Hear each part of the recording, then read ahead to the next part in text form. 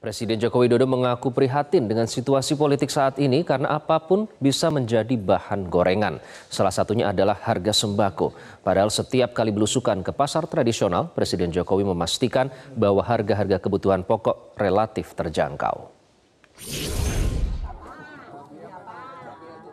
Kabar kenaikan harga pokok terus terdengar di masa kampanye ini.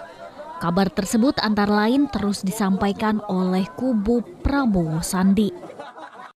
Belakangan giliran putri mantan Presiden Soeharto Siti Hediati Haryadi yang mempertanyakan uang Rp50.000 bisa dapat apa di pasar.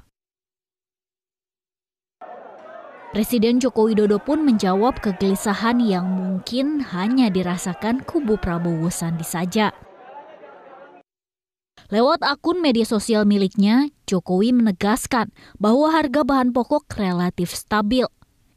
Ia mengaku tahu betul karena tiap pagi sarapan Jokowi adalah harga sembako.